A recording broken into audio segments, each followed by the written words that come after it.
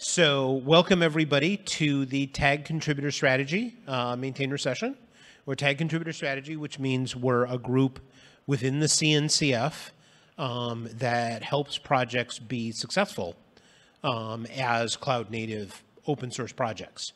Um, and to do a number of things, including recruit contributors, which is something that projects are really working on. Um, and all of us are contributors to um, uh, Tag Contributor Strategy.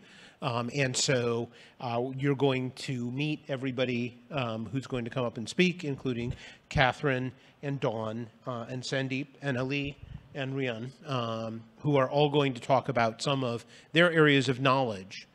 And the idea is to lead you down sort of a little journey of all of the things that you do to attract and maintain contributors, including accessibility and responsiveness and advancement and activities and roadmaps and, um, and recognition. So with that, um, I want to get started with talking about accessibility with Sandeep. Too many things? Yeah, you can use the podium mic if you want. Yeah, you go and use the podium. Here, come, here, here. Use that. excited. It was for my first ever speaking opportunity at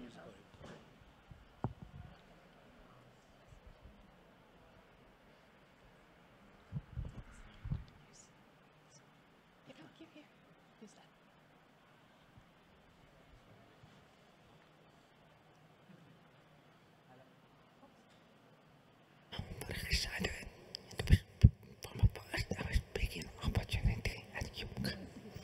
Hello friends, I'm very excited for my first ever speaking opportunity at KubeCon.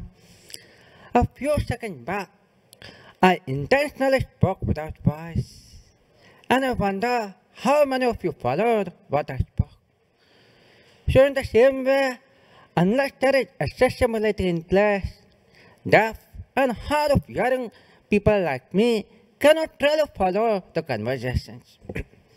what accessibility helps with is creating a level playing field so that each of us can contribute actively.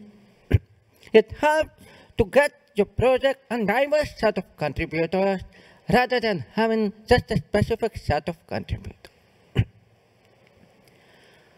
I remember showing up at my first tag contributor strategy group meeting over Zoom. I did not know anyone. I just showed up.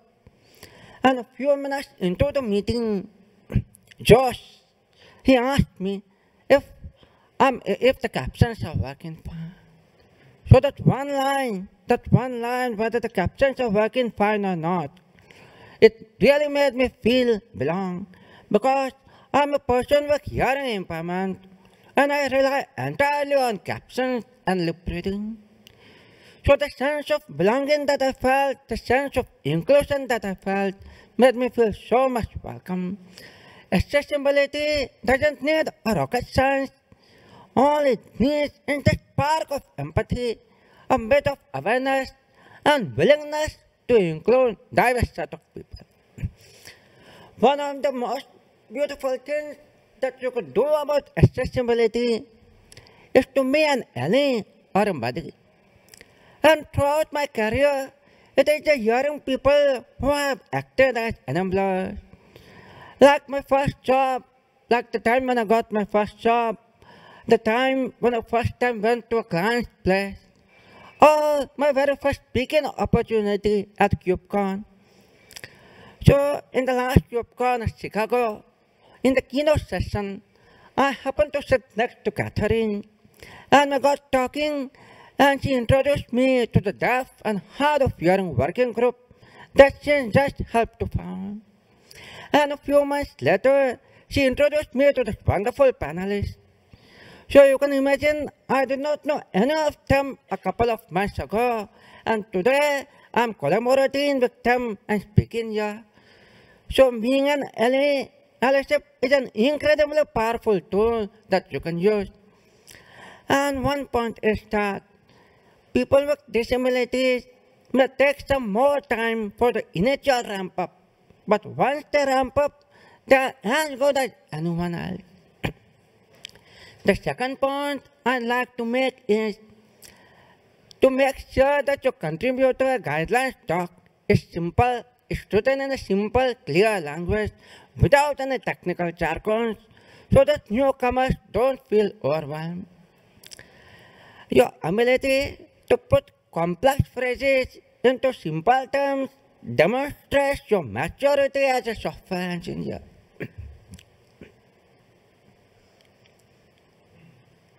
and lastly, being consistent is the key. Accessibility is not like you do it one time and forget about it. It has to be internalized, it has to be consistent. Now, when you start contributing to open source, you wonder where to begin. And the same goes for accessibility as well. Where do you begin with? And so, the deaf and the hard of hearing working group has come up with a set of guidelines, best practices, and recommendations that you can easily incorporate to make your meetings more inclusive. you can attend one of our meetings and you can ask us how we can help contribute to our projects. We have set up a kiosk in the pavilion booth. You are free to drop by and say hi to my members sitting here in the front row. And today evening, we have today evening we have a sign language crash course that is guaranteed to be fun. So please make sure you attend it. Summing up, I was saying that when you embrace accessibility, you unlock opportunities to get truly and diverse set of contributors in your project, taking it to the next level. Thank you. Over to Ali.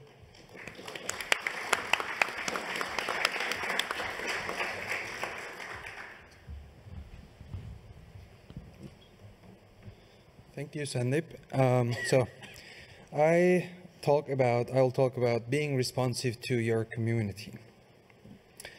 So, uh, what being responsive to your community means? So, if you're running a business, for example, and if you're not replying to your customers, you'll lose those customers. So, same happens for contributors and open source projects too.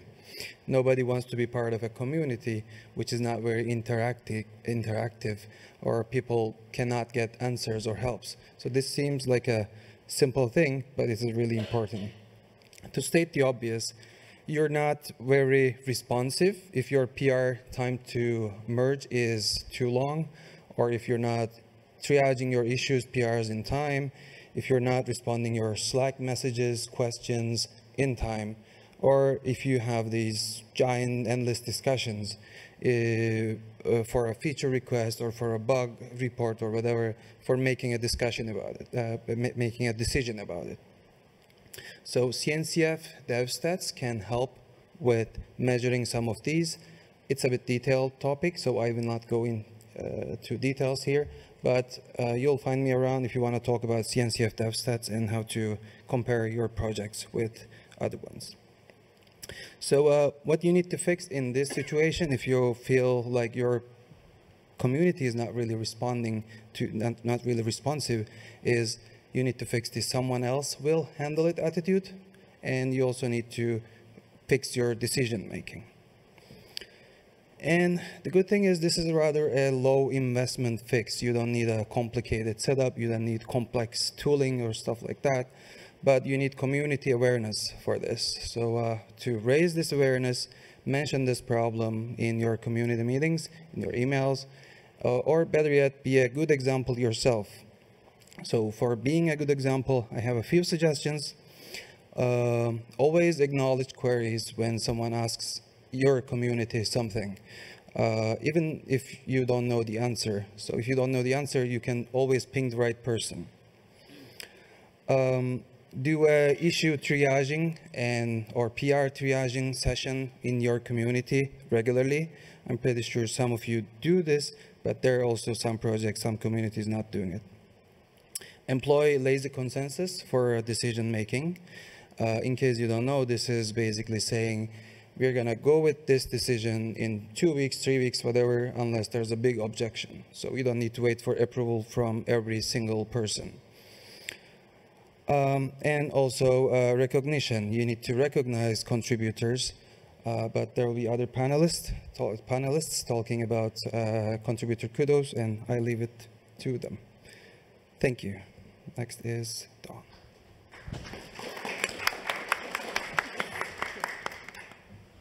His?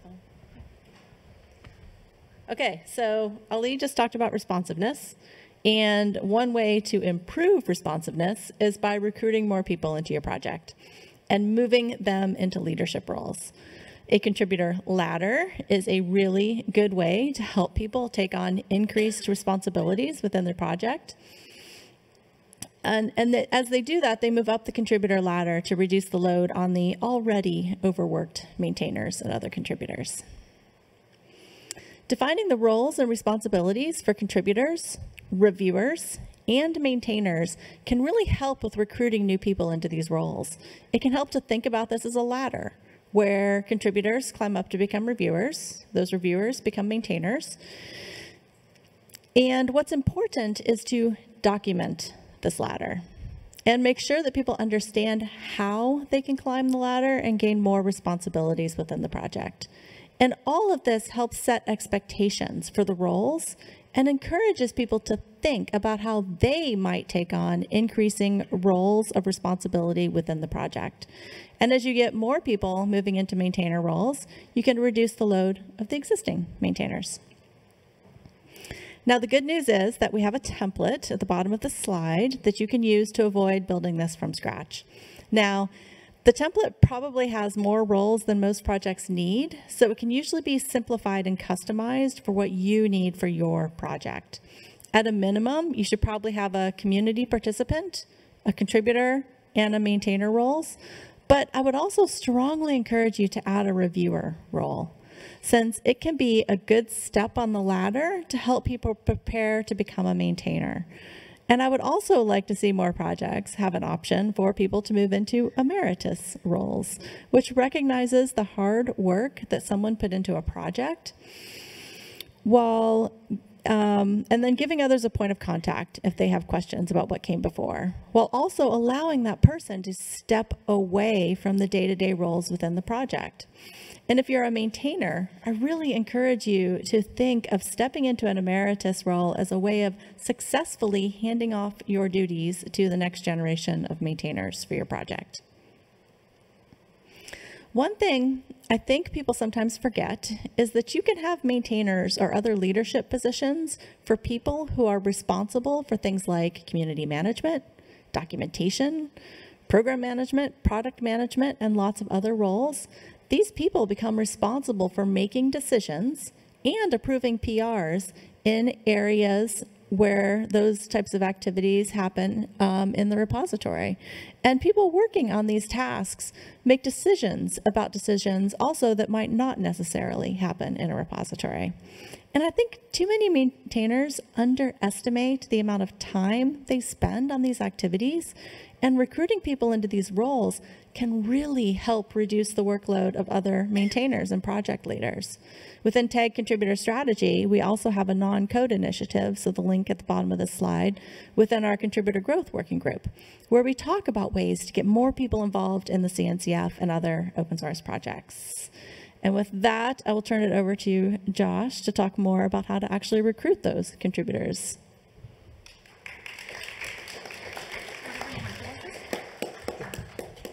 So if, if your project is responsive and you have a bunch of contributor roles that you want to, so, that you want to recruit people into, um, and you know you're ready for those additional contributors, one of the things that you will want to do is to have some contributor recruitment activities.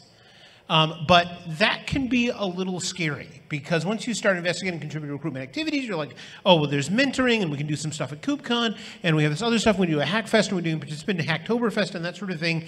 And it becomes a real state of option paralysis. We end up doing nothing because there's too many things to do. And the answer there is to restrict your scope of activities to the things that you can sustain. And one of the ways to do this is that we talk about um, high investment versus low investment contributor recruitment activities. So low investment contributor recruitment activities are ones where you can put in a little bit of effort to help attract more contributors. And often the effort is one time, right? Like something like a, a, basic contributor guide, right? Is you do that and then you only update it like once a year. You don't have to continuously be active on it.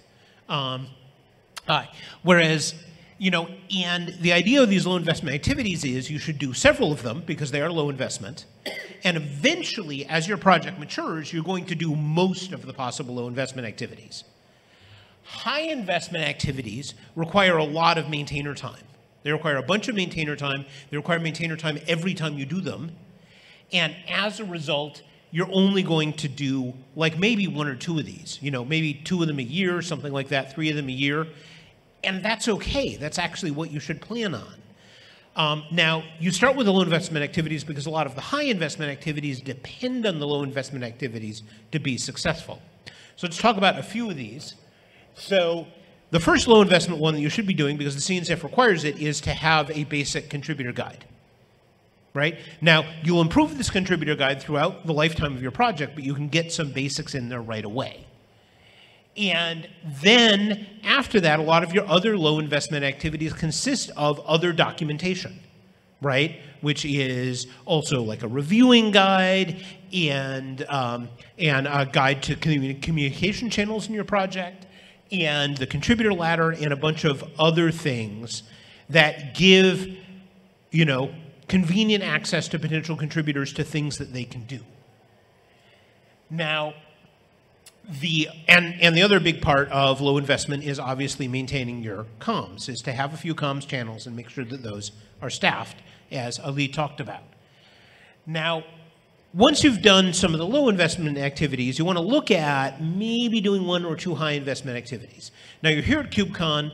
Obviously, one of those is there's a whole bunch of opportunities for contributor recruitment right here at KubeCon. Now, those are obviously high investment because your project members need to make it to KubeCon in order for those to happen. But that includes things like maintainer sessions, kiosks, ContribFest, other activities. Now, you can also do those sorts of live event recruitment at other events, right? Like at a KCD, at a meetup. Um, you can participate in online hackathons. Again, probably not more than one a year. These are a lot of work if you want them to be successful. Um, the other high investment things you want to look at is ongoing stuff, right? Kubernetes, because it's a really big project, we actually have a fully interactive contributor tutorial, right? And if you have the kind of resources to produce that, it's a very valuable thing to have but it is a lot of effort both to build and to maintain. You have video programs and you can do other things that are high investment and help you contribute recruitments, but again, don't get carried away.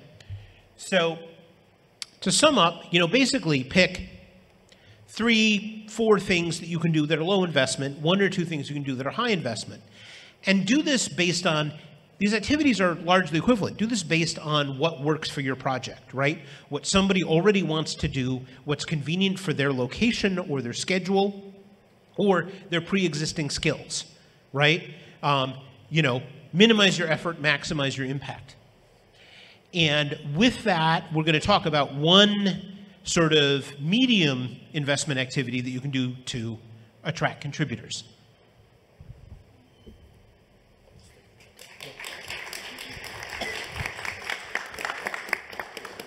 Thank you, Josh. Um, so Josh talked to us about how to get contributors to your project, and mostly the first point of contact would be your GitHub repo. So uh, Albert Einstein said, what's obvious to you might not be obvious to others, and it's also not even obvious that he said that. So when people go to your GitHub repo, the first thing that they see is your README. And then they might actually look at your charter Go to your own GitHub repo, look at it as if you've never seen it before. Does the README actually tell the person what's the product about, when are we meeting, who's the leadership, basic things. Are you actually communicating that? Make sure that your README it does what it's supposed to do. Your charter, your project is five, six years old, and then you had a charter when you started off. Are you actually still following that charter? Is it still up to date? So make sure those things are, new people look at that and say, oh yes, I can get involved. And then they get there and the charter and the project's not matching up. So make sure about things like that. GitHub repository, that is your filing system of your project. If your filing is a mess, Nobody can find the code. Nobody know how to contribute. All the documentation that Josh referred to. Make sure it's filed in a way that is intuitive to new people. Look at it again like you've never been there before and say, oh, this does not make sense. And just reorganize. It's low investment. Then, very important thing, when you go to your repo, you manage things through GitHub issues and PRs. If you just have a list of issues, what's important? Nobody knows. If they're not part of the in group, they can't tell what's important. Get a GitHub project board. They are very useful. Lots of automation available. Automate as much as possible. It should not be hard work. It should actually reduce the work. Put it in columns that's suitable for your project. If it's in backlog and it can't be fixed, block it, put it somewhere. Bonus tip on the project board, labels. There's a lot of CNCF projects that does not have any labels on their project. Use labels like help wanted, good first issue, um, you can put code, you can put information about the feature, use the labels extensively, and then there's features inside the project boards where you can filter by um, views for specific types of labels or specific, specific types of work that also makes it easier for people to find things where they can contribute. Make it easy for people to be in your project and see where they're going.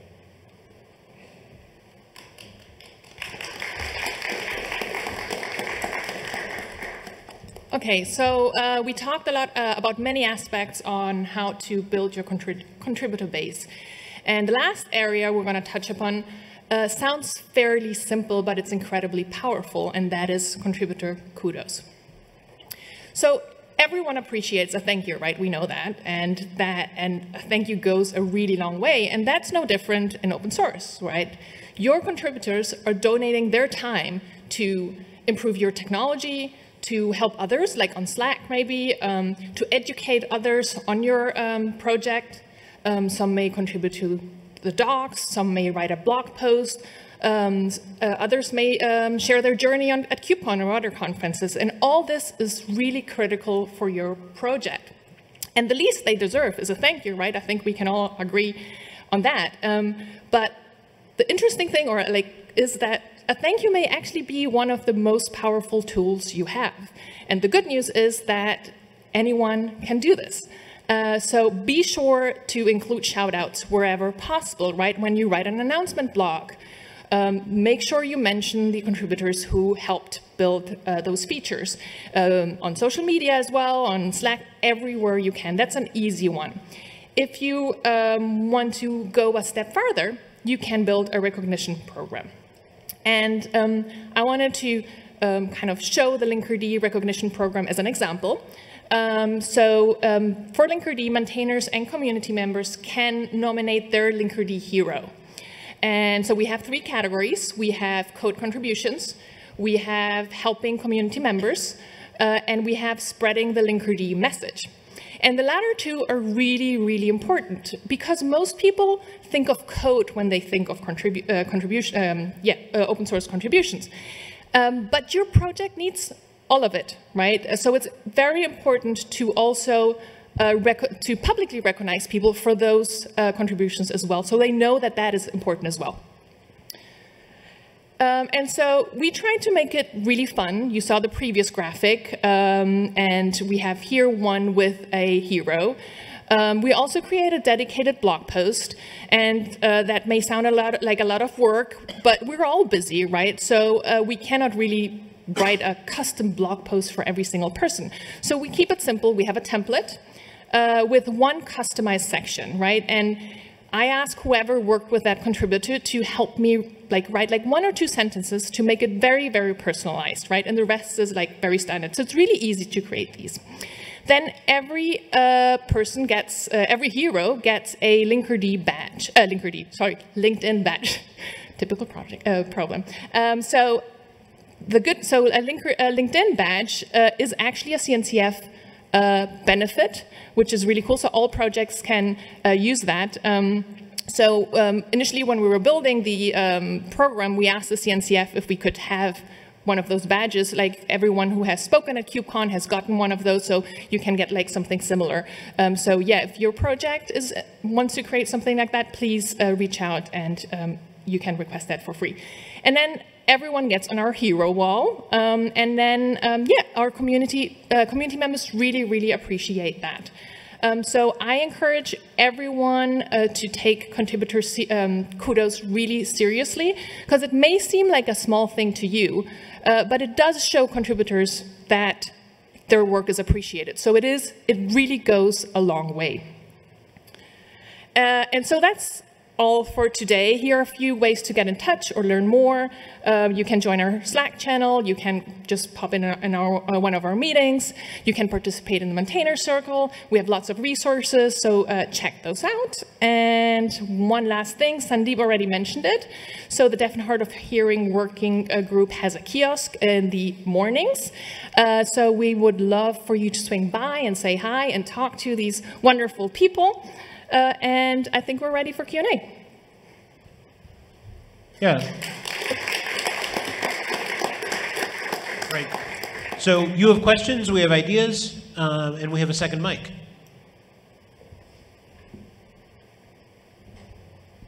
Hi, thank you very much for all the recommendations. Um, they would work perfectly for large organizations and large projects, obviously.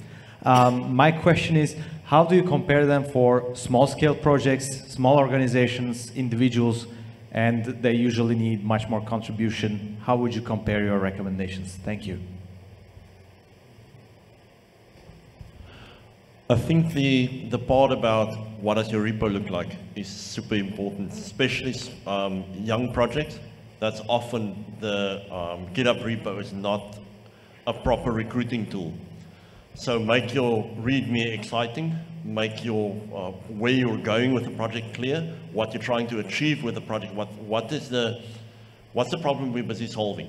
Make that clear, and somebody will come and say, oh, I have this problem, and then they'll start using the thing and say, oh, I need this feature, and they'll start contributing. But if it's unclear, if it's just a logo and a few things you threw in there just because you opened the repo and I want the README, um, make sure you invest time in your README and your, uh, your charter to say this is where we're going. Because that's the vision, that's the light, the laser for the cats to follow. Um, yeah. Yeah.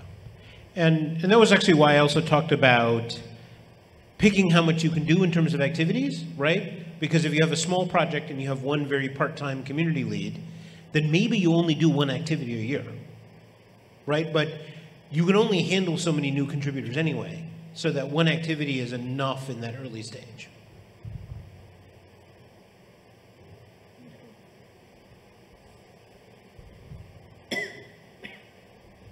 Hi. Um, I'm a somewhat newly minted maintainer for the Istio project, which is pretty large. Um, and it's my first experience as a maintainer there. and one of the things that I struggled with a little bit is understanding how to say no to what might be a first-time contributor in a way that makes them not want to not come back again and contribute again, right? Like sometimes they, you know, the answer is let's work on this, we can make it better. Sometimes the answer, sometimes the answer is just the community's decided this approach, we're not going to do it, so thank you, but no. How do we? What What are some tips for saying no in a way that doesn't make people not want to come back if you have to say no?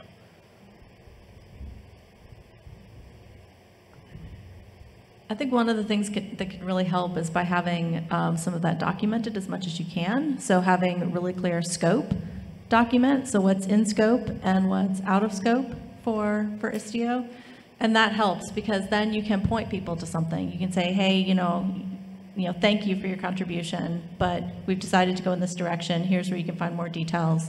Um, we'd love to have you contribute more. And so I, I think just being being really careful to be kind and empathetic in those in those responses, I think can go a long way. And maybe if you can, you know, as you're saying no to them, if you can think of something related that they might be interested to work on, maybe pointing them in another another direction that might be, you know, kind of along the lines of, of their skills and their interests.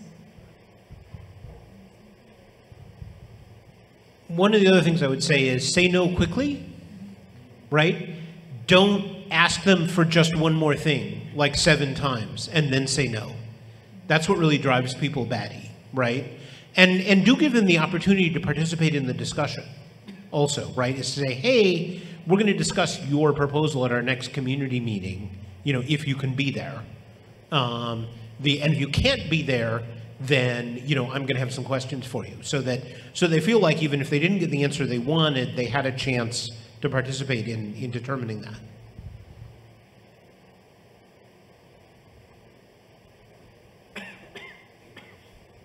Uh, yeah, great presentation, a lot of useful things you can take away today, so thanks for that again.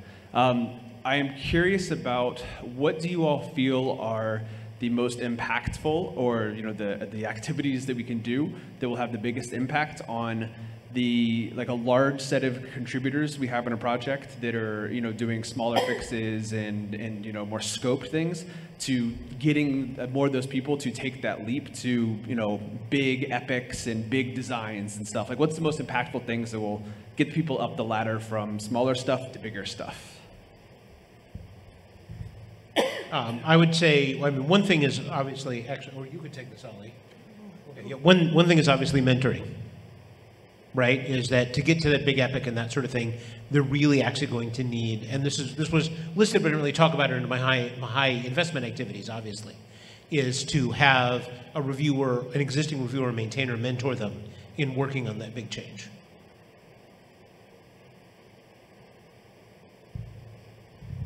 And I think too, asking people for specific things. So, you know, no, noticing that someone is interested in working in a space or that they have a particular, or particular skill set in an area that you need for the project. Sometimes just asking them and it makes, it makes them feel appreciated. It makes them feel like you value their input. And, you know, they may or may not have the bandwidth to do it, right? But I think that, you know, just people knowing that they're appreciated helps kind of encourage them to step up in the project. And then also um, looking at your road mapping in your charter. So if you have specific needs, write them out in the issue, clearly describe, I'm looking for somebody to do these things. This is the outcome we're looking for. Stick it in the backlog, and then you can add, use the labels and say help needed, good first issue, or you can, if as you say, you've got first issue people, but you want them to do the advanced, and you can, you can kind of everybody wants the next badge. So you say, this is next level iteration, or think about what, what would be the bait that you can hold out for somebody to say, oh, I, can, I could do that, but maybe I should pick up these, and make it attractive as the next, and be clear about what you want, and list them in the issues, because people get there and they're unsure, and they're new, and they're not sure, okay.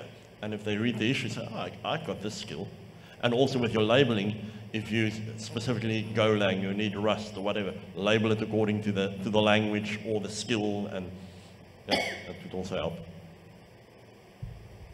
I can say, yeah, I can say one last thing. So it's a generic answer, but again, invite this person to the community meeting. So people are, uh, people feel more encouraged in a community meeting to take new responsibilities instead of just seeing the uh, like hundreds of issues and trying to find out which one is the best for them.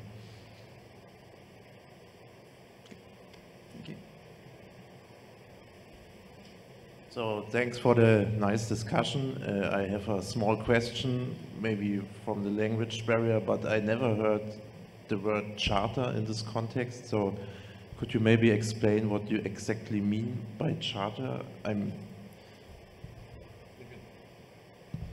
So a charter, um, most of your CNCF projects have a explanation of what is the project.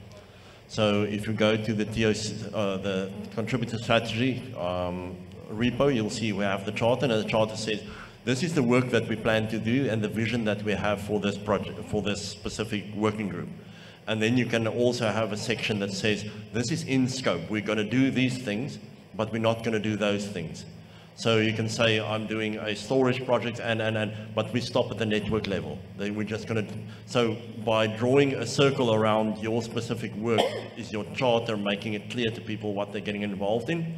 And also your, your charter is, your, the question that you ask, answer with your charter is, what's the problem we're solving? So you write out, I'm solving this problem with this project, this is how we do it, and this is how we're not doing it and that just help people to understand what it's about. So it's like a little bit of a marketing document as well.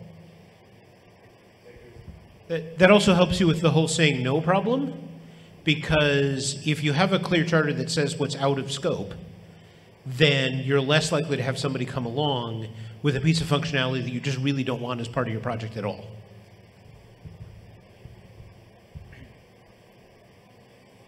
It was just a follow-up. One thing that is nice for non-native speaker is to record your meeting so people can catch up after for things they don't understand. And uh, for CentOS board meeting, we did that and we got a lot more engagement after the meeting because we could publish the whole board meeting in the video. And nowadays it's not too hard to do. It was not true a few years ago, but nowadays uh, with uh, Google or Zoom, whatever, it's not that hard and it helps a lot uh, the people that don't catch up everything during the meeting and get later. So if you can do that, in general, it helps a lot.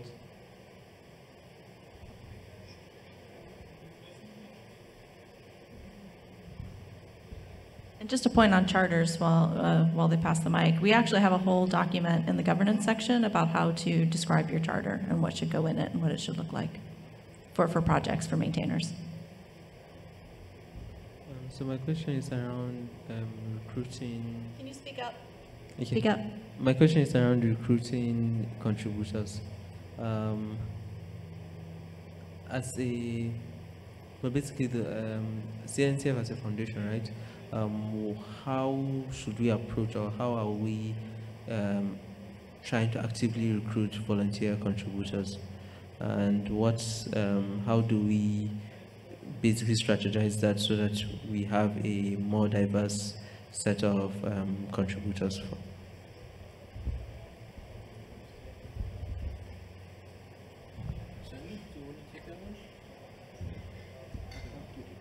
Yeah, I'll, repeat it. He was talking about strategies for attracting a more diverse set of contributors.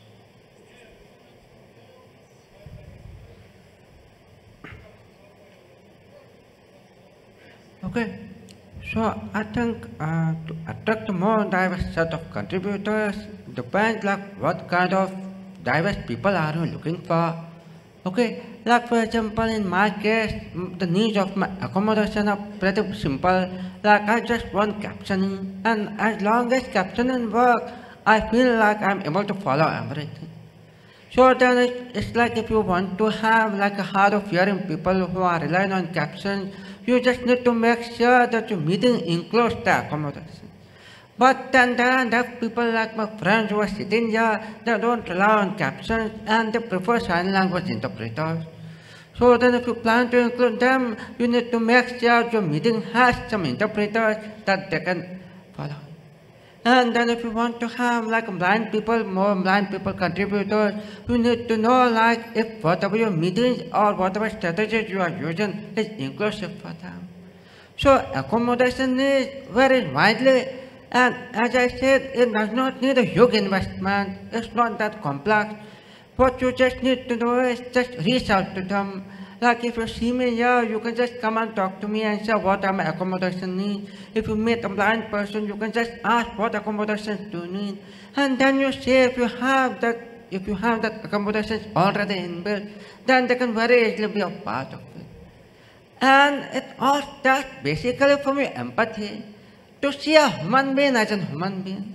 As long as you see a human being as a human being, you will feel the natural desire to include them. That's it.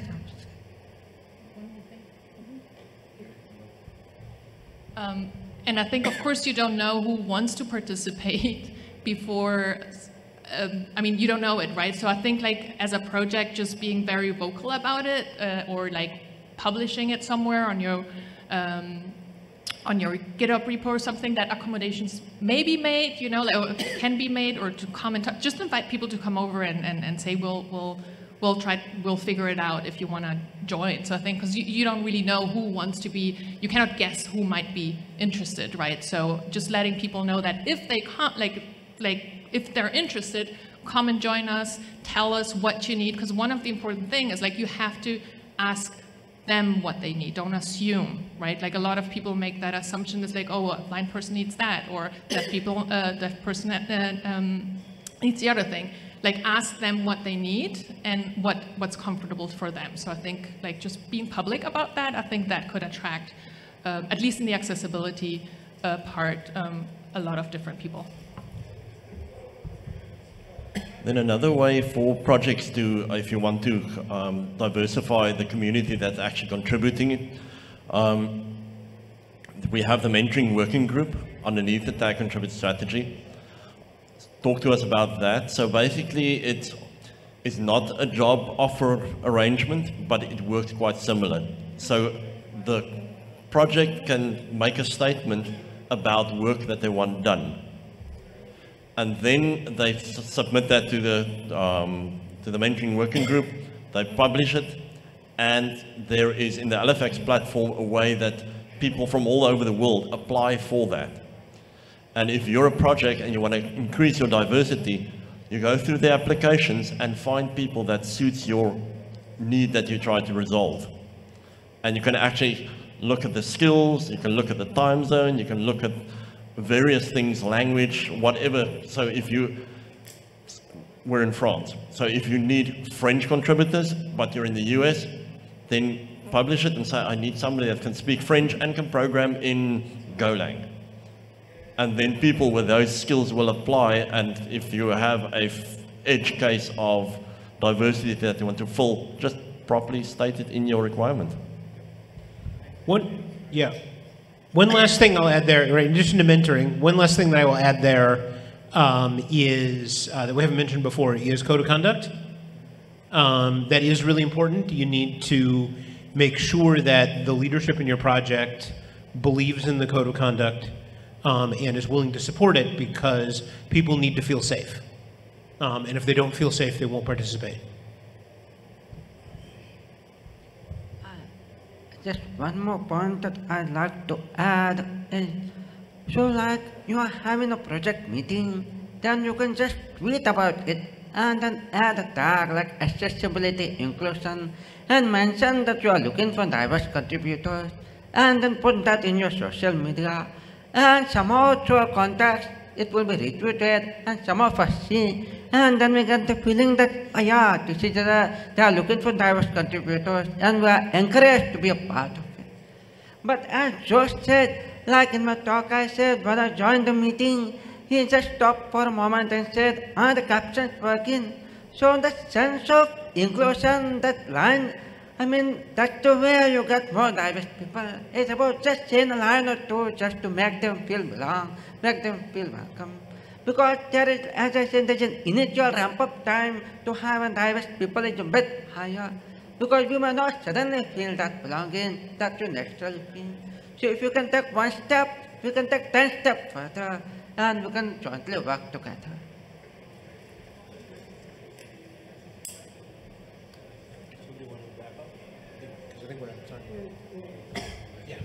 Okay, yeah. So we are at the end of our time slot, um, but we're all here at the conference. Um, a lot of us will be in the project pavilion, um, and uh, you are welcome to come by with other questions or ideas or things that your project needs help with from the CNCF. Because one of the things we do for people is, is help connect them with like CNCF staff and stuff for other resources. Um, and thank you very much for coming.